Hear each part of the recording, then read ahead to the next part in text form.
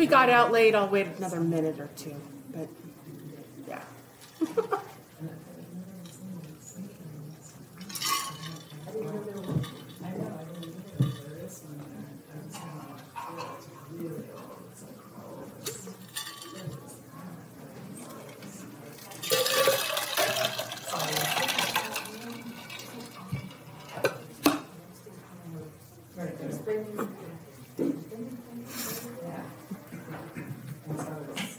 Is that the same grade?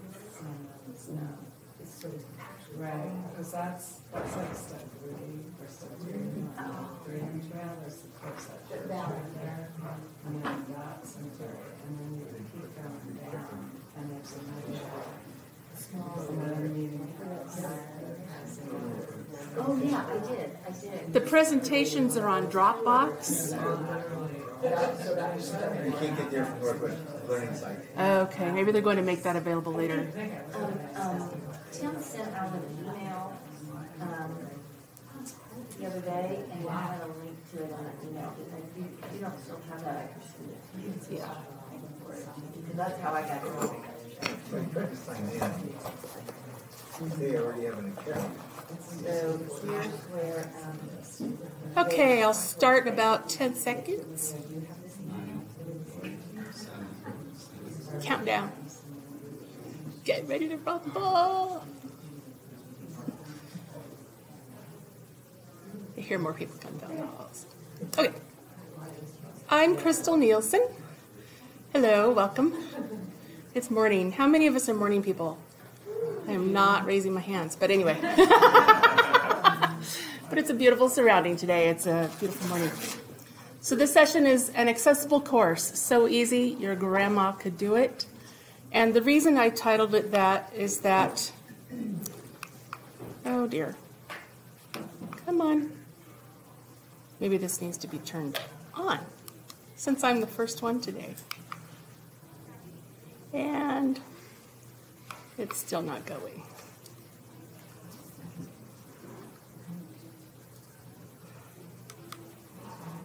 Well, I'll just do it manually. One of the things I do is also provide tech support to the sessions that we going to.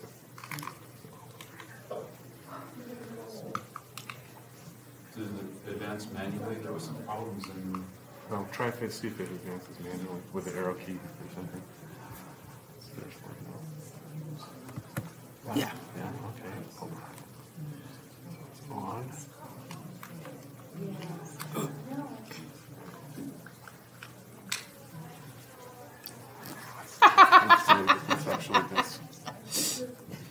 Sometimes the issue.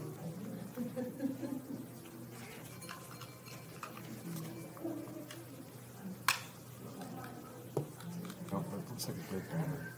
Okay.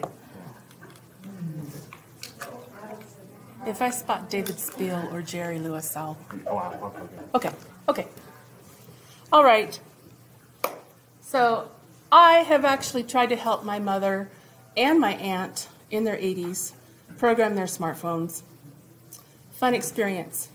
They retain it for about a week and then they, so anyway, but the point is, is that I did do it. Um, and it was successful for a short time.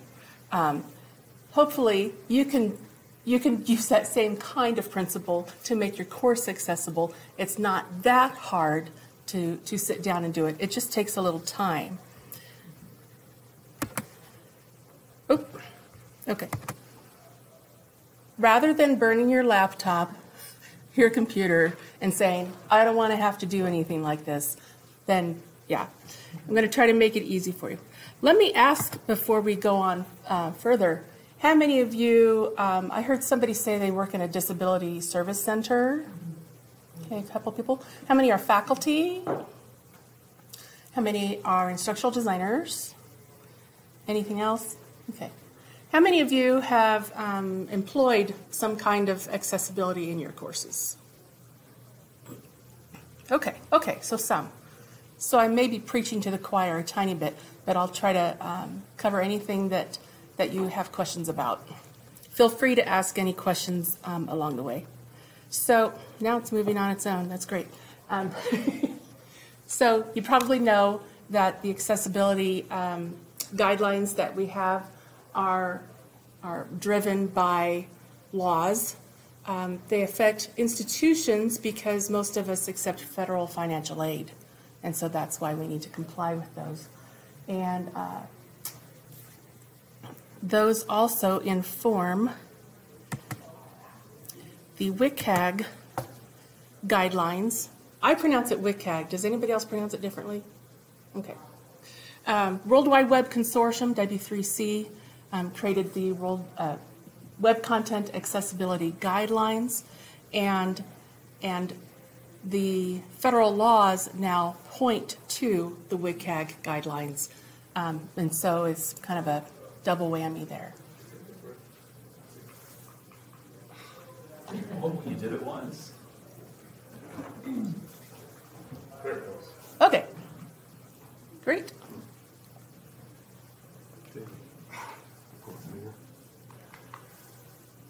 Maybe? Yeah. Okay. We'll just go back. Okay. So the WCAG guidelines, in case you're not familiar with them, are for um, your content to be perceivable, operable, understandable, and robust. So let's talk a little bit about your audience. Assistive technologies such as a screen reader um, convey. Is that you again? Did I do it? I'm sorry. I'm like, woo! Jane, stop this crazy thing. All right. Okay, that's all right. Um, so this is what a screen reader technology would look like. I mean, they, th there's different variations.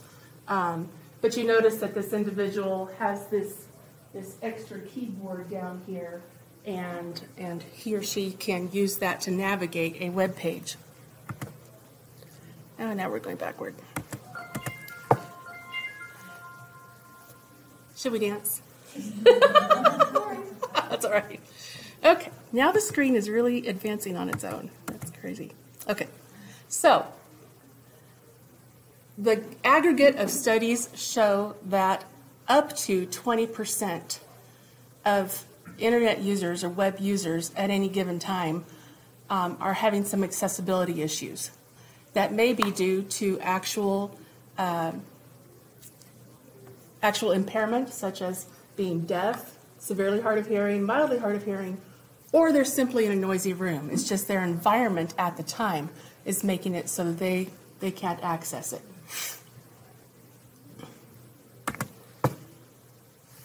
But a lot of us still use the accessibility tools. I, for one, almost always watch movies with the subtitles on, especially if it's like British accents and all that kind of thing. So, or if it's one of my husband's, you know, guy flicks or sci-fi flicks, I'm like, I'm not understanding this. So um, there's a little bit of difference between subtitles and captions, and the difference between open captions and closed captions. Open captions are basically burned into the video. You can't turn them off. Closed captions, you can toggle them on or off. Now, either those or a transcript will meet the requirements, correct? Yes. Yes. Is the transcripts tend to be more accurate? Because they're not interpreted by a, being interpreted by a machine. Depends on the captioning software that you use. Right, right. And, and having the audio description is, is much more useful to the hearing impaired person. Um, that's what this would be, the description of non-dialogue. So for example, um, you know, if two people are talking and then there's a dog barking in the background, the audio description would say dog barking or, um, you know, train whistle blows or whatever like that, so that it's providing a little bit more context um, to the person to understand what's going on, as opposed to just the subtitles, which are just the dialogue. Yeah, but you're right, providing a transcript, it also depends on if it's a live, um, live presentation or recorded. So, yeah. Mhm. Good question. So, Anybody here from Oregon State University? Um, they've done several research studies in, um, in, I was going to say cahoots, that's not the right word, in collaboration with 3Play Media. Um, they found that seven out of 10 students without hearing impairments use captions at least some of the time. And three out of four students who used those captions said that they do so as a learning aid. Many times they say it helps them focus. Uh, and, and I am the same way. If I'm, if I'm trying to absorb new information, I'm, I'm wanting to track as much of that as I can by both the visual and the, as, and especially if it's a topic that is a little bit beyond me, you know, a little bit um, out of my league. Okay, so let's talk a little bit about the principles. Are there any other questions before we keep moving? It also helps if you have, if you're gonna write quiz questions on your own video. Back to your transcript. Which is what, what I talked about yesterday. Okay, so the principles. Are your images accessible? If they are not accessible, it's like this poor little invisible man here. They're not really um, seeing anything on that page. So alt text, an alternative way to, for someone to know what an image depicts. Alt text explains when an explanation is necessary. So for instance, if it's for a botany class that you have this picture, you're going to want to put something in your alt text such as hydrangeas thrive best with full sun in the morning, or whatever that information is that they're needing to know from that image. If it's just pretty flowers that are decoration on your page, you can just write flowers in your alt text or do something that's called null alt text. It's just two quote marks, no space in between. And what that means is when the screen reader technology is reading the web page content for the individual, it knows there's nothing really here that you need to be concerned about, and so it just kind of skips over it. Um, otherwise, if there's nothing there, then then the screen reader is saying, yeah, there's an image here, but I don't really know what's in there, and so you're kind of stuck. I'm like, there must be a ghost here because I am not touching anything. okay. So, what happens if you don't use alt tags?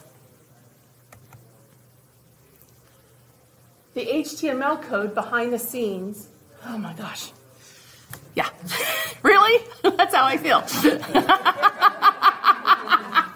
That was perfect. How did you do that? I see my grandmother in this. Okay. oh my gosh. Well, what we ended up doing yesterday was just going to the slide, the slide, slides. Oh, yes. I might. I might do it's Still that. big for us to see. I don't know why I want to do this. Okay. Of course, this has been recording right, being recorded right now. So, oh my gosh. Okay. The URL gets read out loud. Okay? So the visually impaired person is going to hear http colon slash slash blah blah blah blah blah for whatever that URL was for that image. And you may think, well, I didn't have a, um, a URL for my image, a link. Well, yes, you did, because anytime you're putting web content in there, there has to be some kind of coding to tell it where to find that image in your files. And so that's where it's going. And yeah, really? uh, it's annoying. Okay. okay, I'm going to end the presentation and just use this mode.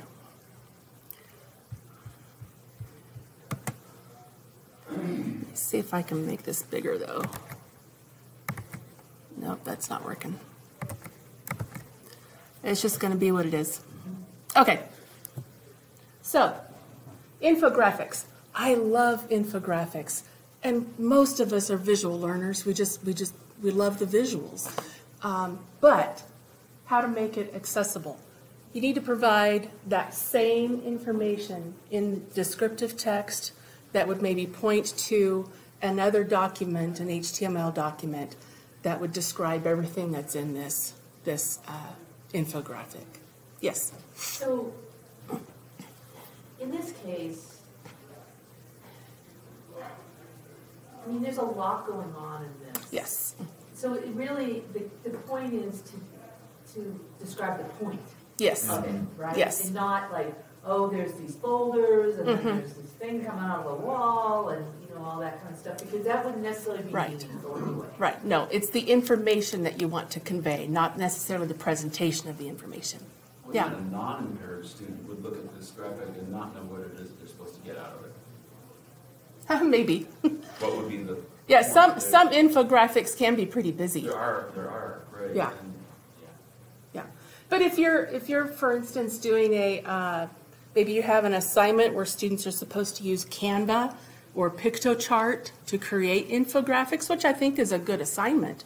Um, If they're going to be sharing those with the rest of the class, I think it's a good idea to be compliant and also have them provide, did that just skip on its own? It is, I've been Kind of watching it, it do yeah, it. a little bit.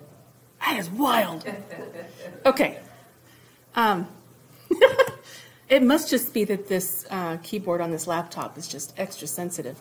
If I bump the table or something, must be what happened. Anyway, I'll have to let the, the yeah, the techie people know. Anyway, um, yes. It's good practice to have your students also make their content accessible if they're going to be presenting it to the rest of the class. Um, wow. Oh my gosh. I don't think you touched the table. I didn't. I'm like, whoa. We'll we'll go with go. yeah, yeah, exactly. Um, where was I going with this? Probably my grandmother. yes, exactly. Um,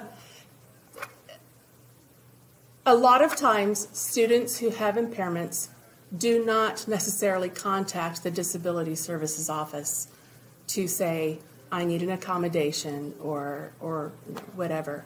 Um, there's just, they feel a little bit of a stigma about it.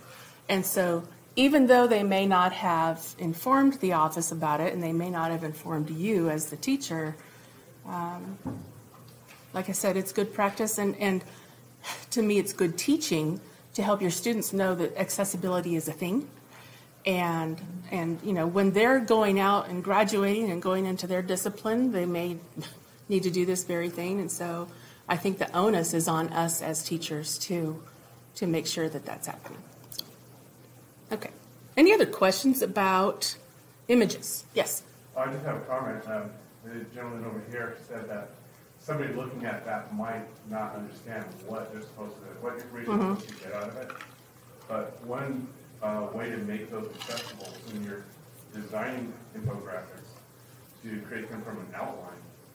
And uh, then that way you know there's a logical connection to each one of the elements. Because the temptation of some of these tools like Canva is to go, oh, wait a minute, I can put this right here, or move it around. And you might, can, uh, sometimes the uh, new creators will, uh, can make something look a little more confusing than it needs to be. Yeah. Good. Okay. Now we're going to talk a little bit about accessible links. So the individual who's using a screen reader technology will use the tab key to um, skim through a web page and find the links. I mean, obviously, if they're a student, they need to read the whole page, right? Um, but if they're going back to look for something and they want it, oh, I remember that link was on this page, I think. They're tabbing through to find those links. So, one principle is embed your links on descriptive words or phrases rather than click here or more info or details here, that kind of thing. Let me show you an example. So up at the top here, let me make that bigger. I'm just gonna, I'm gonna go back to presentation mode since it's got a mind of its own anyway. Okay. You ever heard of lorem ipsum? Yeah. There's bacon ipsum. Good, So that's better. Yeah. okay. Here, here, here. So when that person is tabbing through the page to find the link to whatever they were looking for, there's three here's on there. Where are they pointing to? That's that's annoying. That's that really kind of look. So rather than that, do you spell it out on a descriptive word or phrase. Chapters one to three of your OER textbook. OERs, yes? News outlets available via the library, APA style, whatever it is that you're wanting students to go to, make it descriptive. So a screen reader will just uh, be going along with an awkward break in the sentence? What it would do is it would say, for instance, up here, it would say, bacon ipsum dolor amet link here, sausage, ribeye, It would sirloin. say, it would insert link. and it would spell it out. The, the it depends on if you have the alt tags and all that. But the uh, this one, it's going to because remember when I showed the HTTP kind of thing. If you don't have that kind, actually that's my next screen. Um,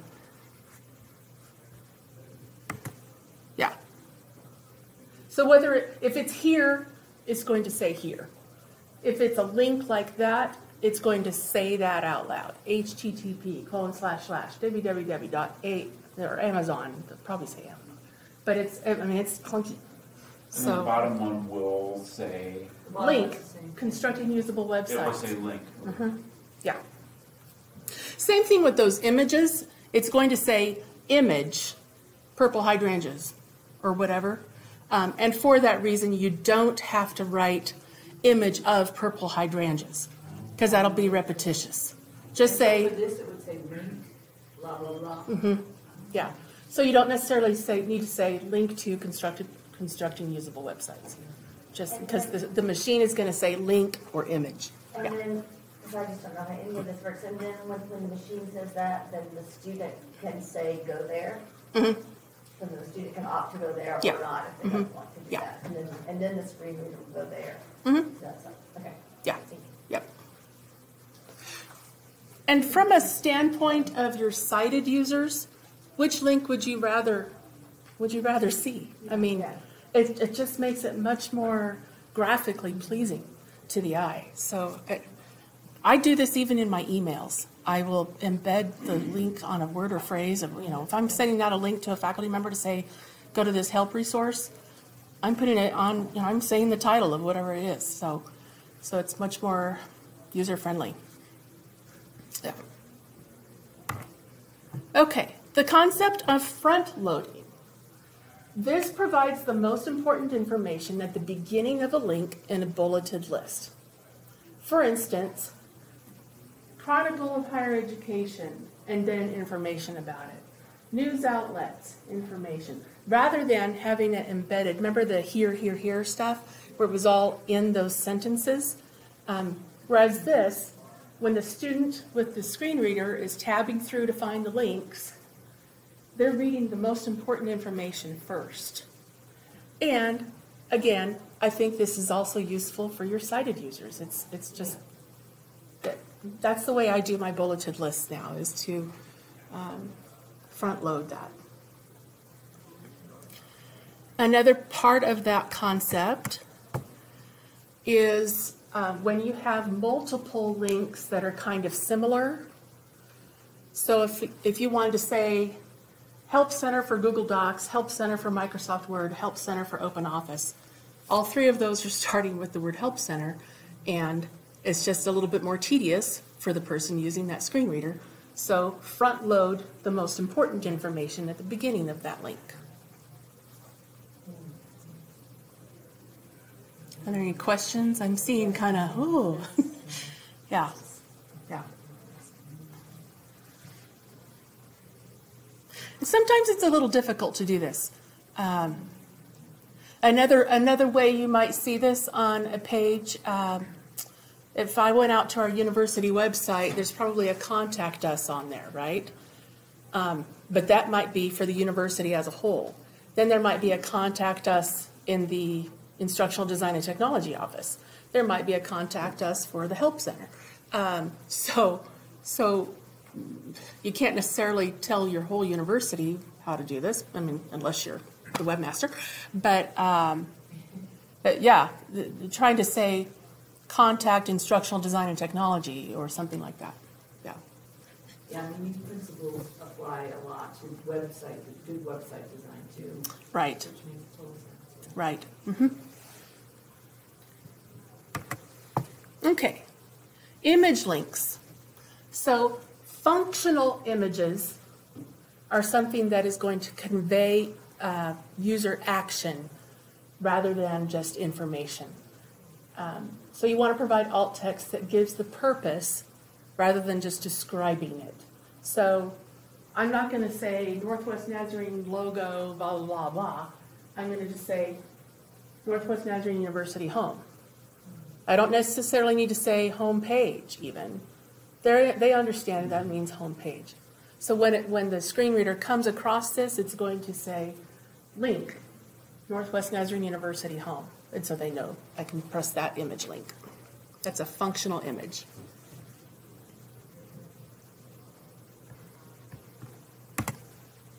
Will the Okay. reader, the reader will actually pick up the words in the logo? Uh, no.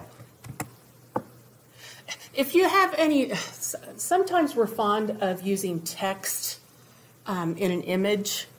I mean, you know, the quote of the day or something like that, and it's and it's all, or just maybe you've created um, banners for your course, and it's all text banners. Um, you want to make sure that those have alt text so that they so that the user knows this is not only an image, but it's also a link to somewhere, and if I click it, it's going to take me there. Yeah, yeah. I'll show you an example in a minute um, from one of my web pages, my Canvas site. I've you know I created banners for my modules, and then I I put all, text on there so they can know that what's what that is. And it's just like an infographic an infographic or just a text-based um, image. Either way, you want to provide that information to the individual. I have my TAs, um, they, I, I use the word accessibilify. They know what that word means now. I say you, you just need to accessibilify these PowerPoints for English 2010. Okay, so they have to go in and every chart, every image, whatever, they're providing the descriptive text on there. And I will say that my experience with publisher content has been that usually it's not accessible. Um, at least, at least the older content. I don't know if newer content is getting better, um, but a lot of times faculty are still using the you know 2012 edition of the textbook, and and it's it's definitely not accessible. And so, um, I highly recommend trying to hire student workers if you can, um, because it does take a lot of work to do something like that. If you have, you know, a 16-week semester and you have 16 PowerPoints, that's a lot of work to go through and make all of those images accessible. Um, But it's good practice and it complies with the law. You don't ever want to be caught uh, having to be reactive instead of proactive. Um, I mean, we, our university, we have a small university with, you know, 1,200 students undergrad. Um, and we have um, a nearly blind student on campus this semester. And our disability services office contacted all the faculty of the courses that she was going to take and said, I'm available to help. Instructional design technology is available to help. And like only two of them said, oh yeah. And then one came panicked into my office. I just got assigned this course last week and now I found out I have a blind person. What am I going to do? Calm down. It's okay. We got it. So, yeah. Doing retroactive stuff is not fun. Okay. Is your organizational structure accessible? So presentational attributes such as font size or color, or using something like boldface or italic, um, that doesn't convey anything to the screen reader user. So it may look like this to you and to your sighted students, and it just looks like that to, I mean, to, to the screen reader reading it out. They're not noticing anything. And so, you know, if you have, if you have all the important information up here and then they have no idea what the structure of the page is, what's most important to know. So, what you want to do is use headings in your platform. Uh, Blackboard has headings, Microsoft Word has headings, Canvas has headings. Uh, Pretty, or they might call it styles. It's either styles or headings. But instead of just saying, I'm going to bump this up to size 18 and I'm going to make it purple, whatever, um, that's not going to work. Yeah. So if, I, I would like to know what the screen reader says on this. So all about a little lamb is, is a header two, and the poem is a header four. Um, and then Bacon is in this paragraph. Right, what does the screen reader say? How does it differentiate for the listener? Okay, yes, you made my next point. Oh, yeah, so um, FYI in Canvas um, and in Blackboard, but, but Canvas, I know, the page title is always heading one. So, so whatever you put in the title, you're not going to have to put in the heading style there because it's automatic. The, the cascading style sheets, the CSS in Canvas is automatically making your page title heading one. So you start with header two, and so you have to use these in hierarchical order, because if I were to put that in H2, heading two, and then this one is heading four, and I see faculty do that, I like, I tend to do that at the beginning, because um, maybe I didn't like the, the look of heading three. I like heading four.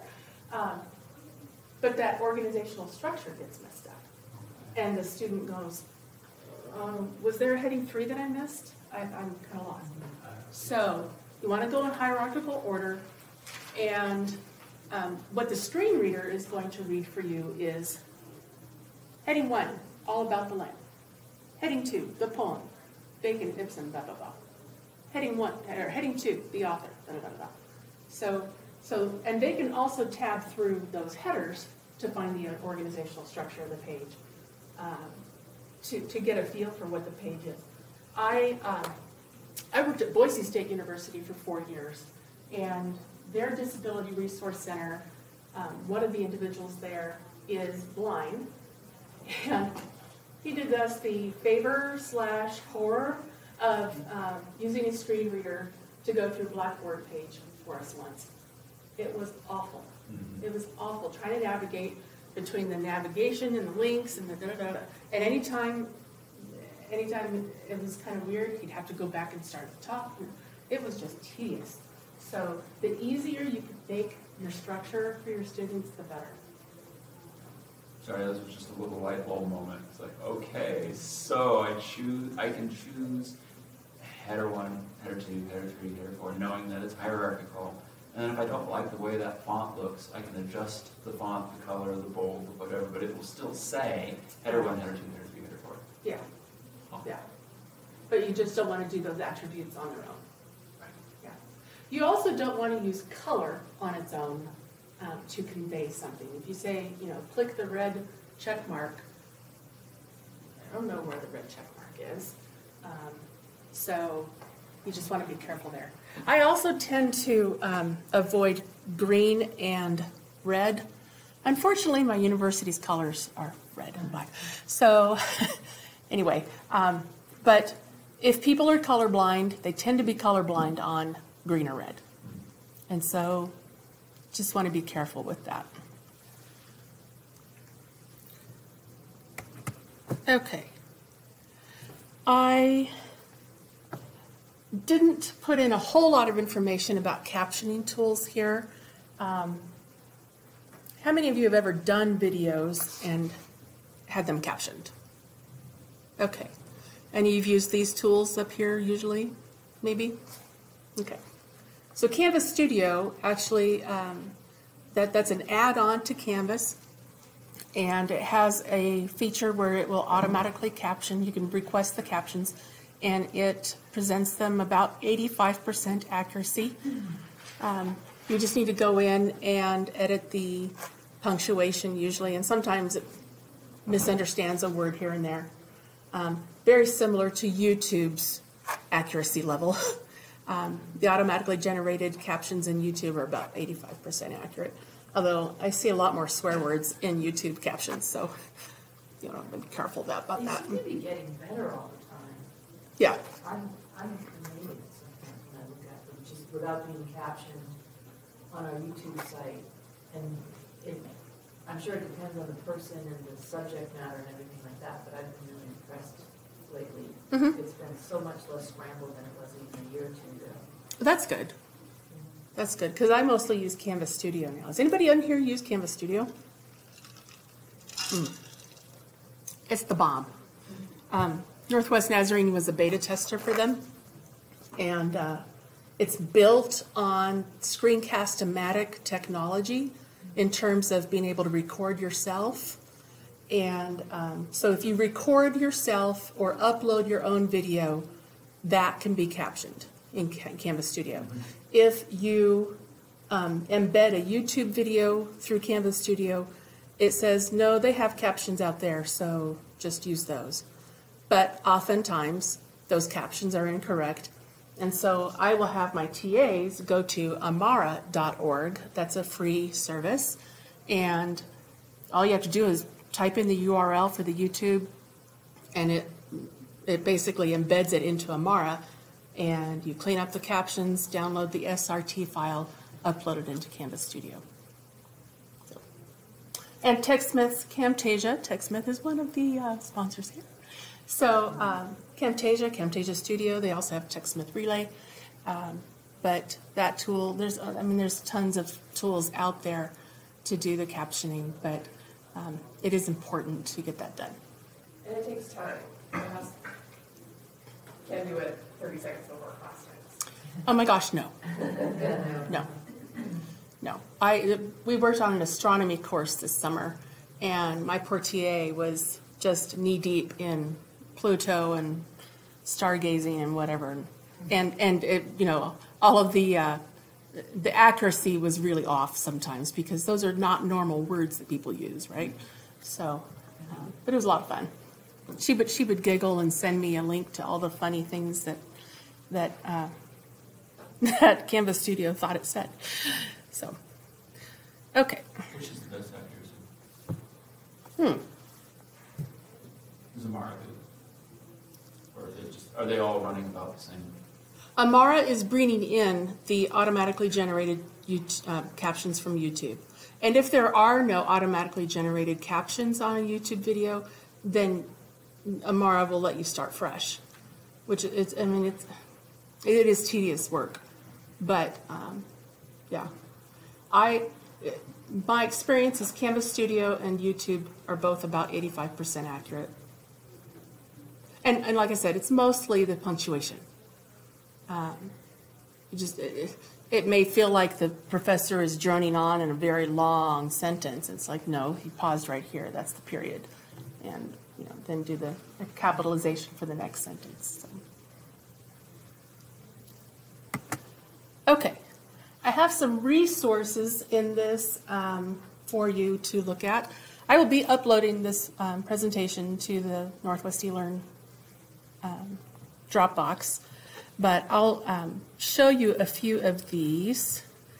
Canvas actually has some general accessibility design guidelines that are um, pretty universal. It's not just related to Canvas itself.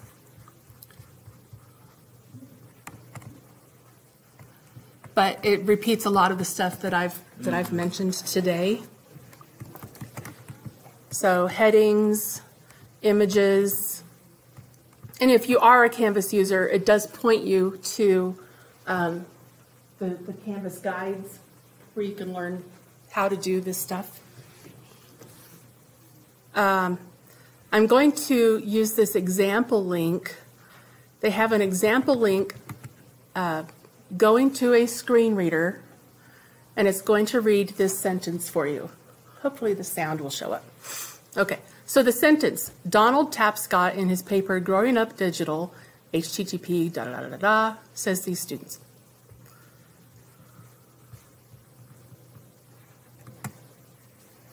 Tapscott and this paper growing up digital. Quote link links to an external site. http colon slash slash www.edu slash meridian slash jam 98 slash feedum. I'm tired already. Yeah. Yeah. okay. And here is a good example because it's been embedded on the word or phrase that actually is the link. Donald Tapscott and this paper link links to an external site. Growing up digital links to an external site. Quote says these students. So you see the difference there. That's all flat technology. Oh. The interesting thing is that gentleman from Boise State, I mean, he listened, he demonstrated the screen reader to us at about that pace. And then we're like, well, at what pace do you usually listen to it? And he sped it up so fast. It was, I'm like, that's the speed you normally listen to? He's like, yeah, no, that's pretty common for, for most of us who are blind. Wow, okay. so, um, anyway, those are those general accessibility guidelines um, on that Canvas site. And then um, WebAIM is out of Utah State University, and they provide a checklist um, based on the WCAG. And so here is perceivable. Web content is made available to the senses, sight, hearing, and or touch. And then um, their recommendations here, and it also links back to um, uh, the WCAG site. How would a screen reader handle that table? Um, tables, a, a lot of people say avoid tables. I don't avoid tables because I build them correctly. um, as long as you have a header row in your table, and it, I mean, the one thing is a PowerPoint, I, I haven't been able to find a place to designate a table as a header row in PowerPoint. But in Microsoft Word, Canvas, whatever, um, you usually have that capability, and you say, this is my header row. And that way, when the screen reader reads this, it helps the person know, and they can tab through. If you can tab through in successive order, in other words, dot, dot, dot, dot, like that, then you know your table's good. Where, where people have trouble with tables is they either merge cells or split cells. You see that a lot in like, um, in the syllabus and the schedule. You here's everything for Tuesday, and here's, and, and it's not all, it's online. Um, yeah, it can be really hairy for the person trying to read that table. So as long as you're avoiding merged or split cells, usually your table's gonna be okay. Uh, Yeah. I use tables for layout purposes, but I'm careful with them. But, uh, but I know some places they say just don't use tables, no, yeah. If you're careful, you can. Okay. Another resource for you is, uh, and notice how I front-loaded these um, items here. Instead of saying WebAIM checklist and WebAIM color contrast checker, I wrote checklist from WebAIM, color contrast checker from WebAIM. So you've all seen signs. How many of you have seen a sign that maybe has a blue background and red text? You can't read it. It like jumps at you. It's all dancing. Um, but also just the concept of whether the text is uh, con enough contrast in it. That makes a difference as to whether it's accessible. And so this color contrast checker, you can come in here and let's say you want to use, um, oh, let's try something. Let's try something purplish. I like the color purple. And let's say our background color is green. well, there's a contrast ratio here of 4.64 to 1.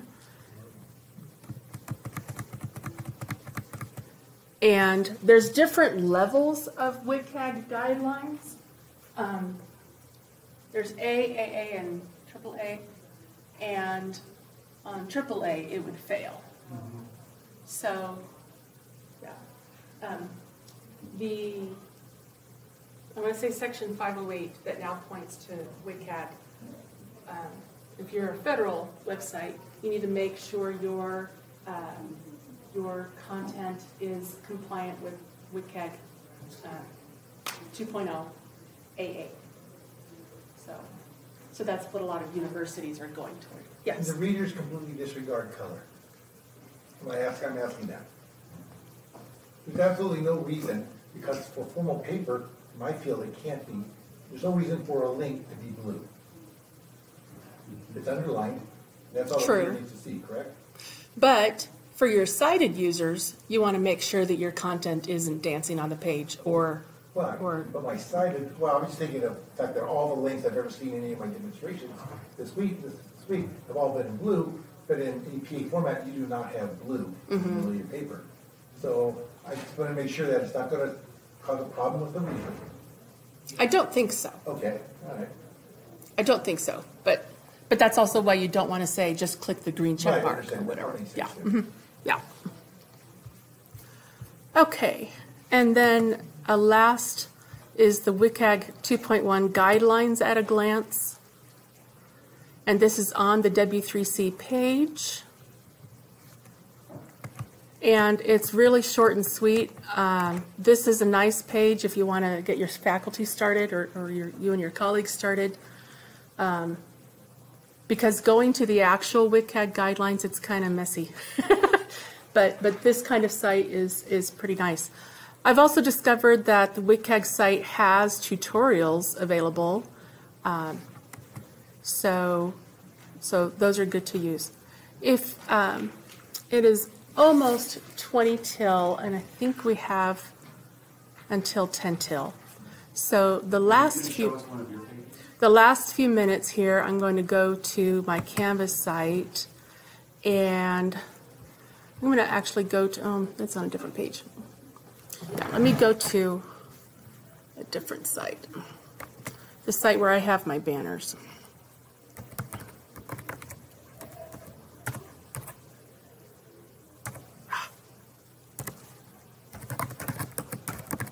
Funny that the laptop kind of died down from all its weirdness.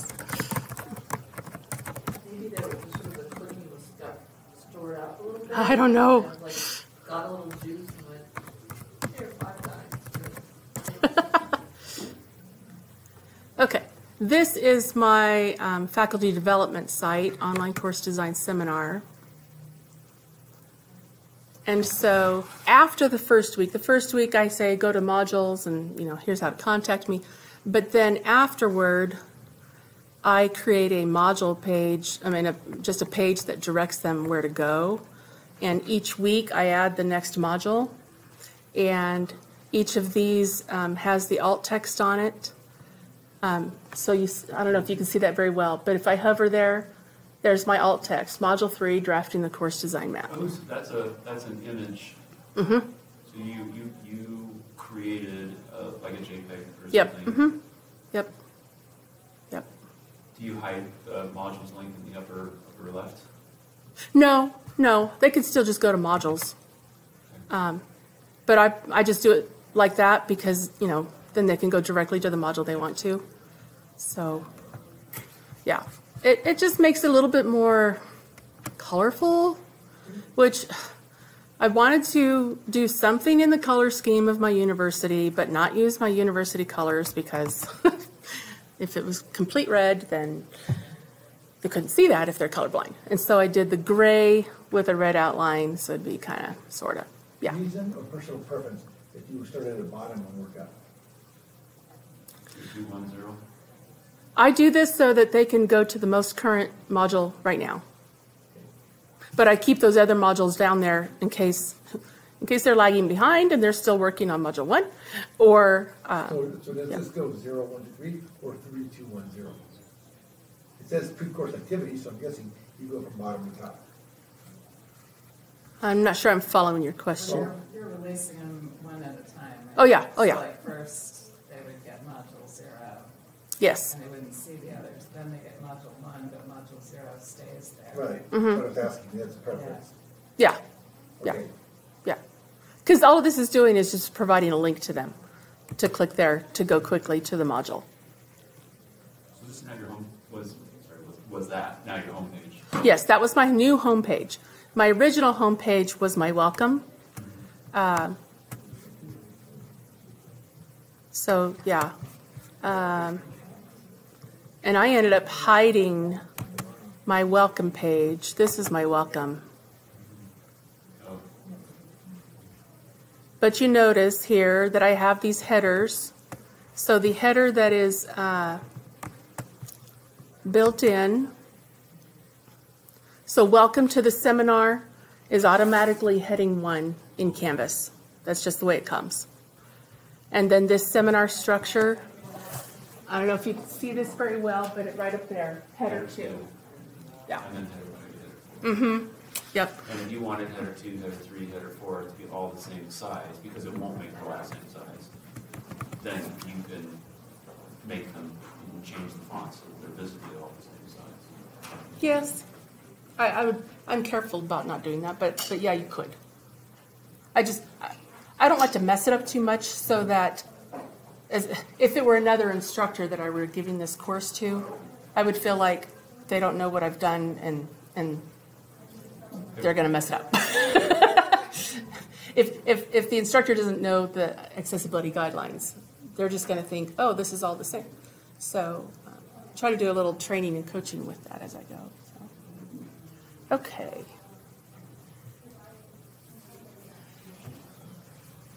Um, for an image in here, the image has alt text.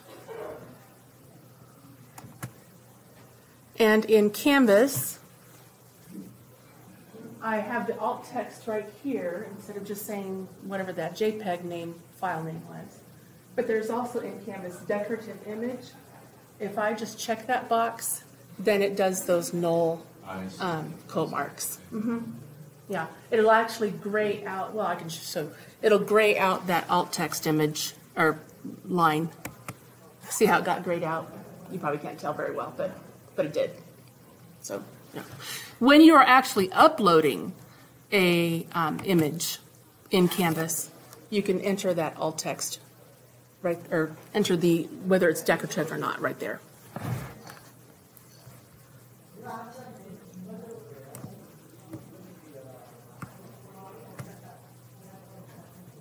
Here's another, so, yep. That's my husband. He's here with me. Enjoying the beautiful hotel room. I don't know, y'all stayed at the hotel, it's gorgeous. It's really pretty. Okay, anything else that you would like to see? Um, in Canvas or um, Microsoft Word, Google Docs? Google Docs also has headers. You can do alt text in Google Docs. PowerPoints. I'm sorry? Bring up up the what? Oh, sure. hmm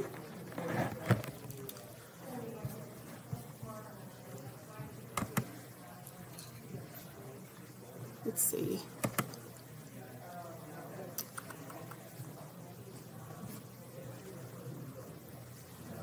Let me think where I have something. Okay.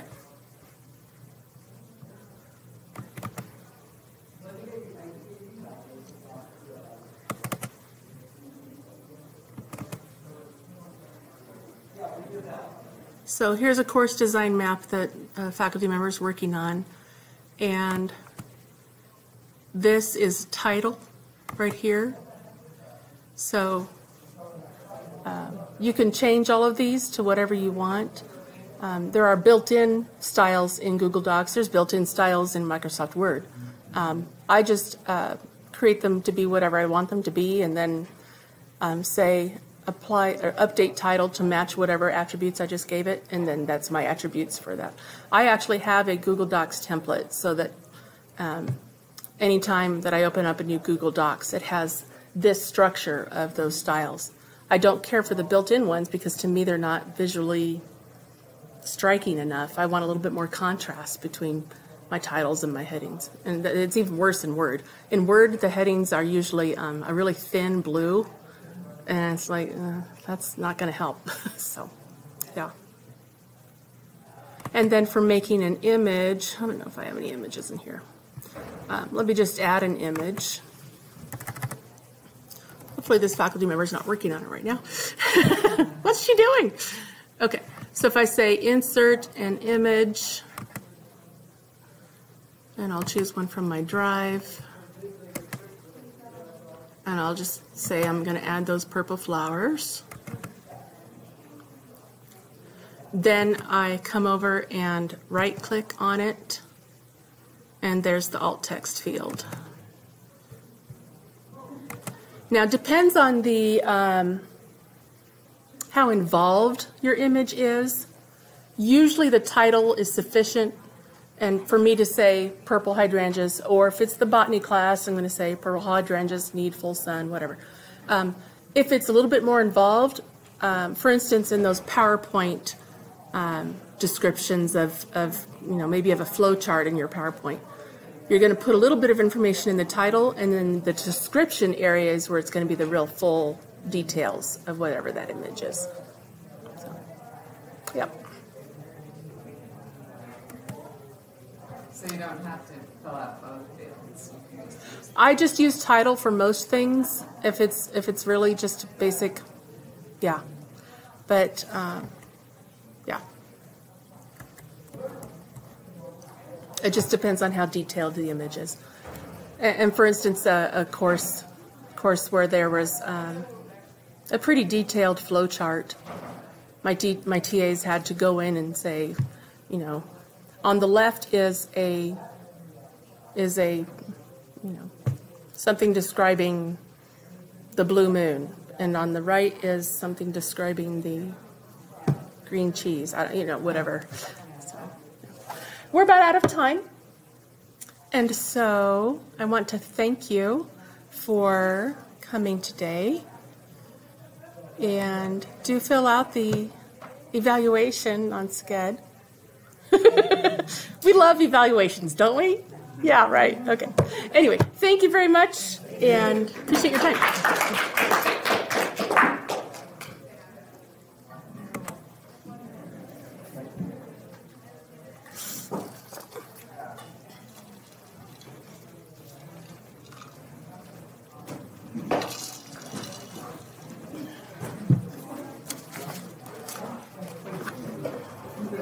Thank you for your presentation. Um, really a lot of my work at the state.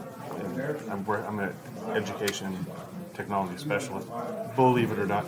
And, uh, and uh, so, so more of my work is involved in this, and so this is a good refresher and reminder. Um, and I would like to see if I can't get that to work. Yes, so yes. My apologies again. Yeah. Definitely, we don't want to have all the other people in here having to.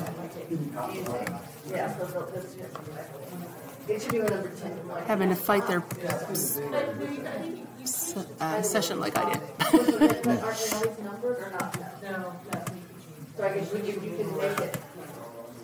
Okay.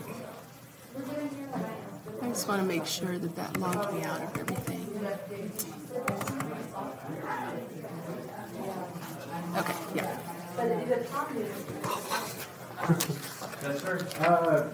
If it's just an image, it's your Possessed. What was it doing? It was advancing the slides on its own. And and then so it was. It, it seemed like it was stuck, and uh, and those would not work. We couldn't get those to work on it. And so one thing I think could have possibly happened is that somehow PowerPoint got stuck in auto advance. Oh, And, that- uh,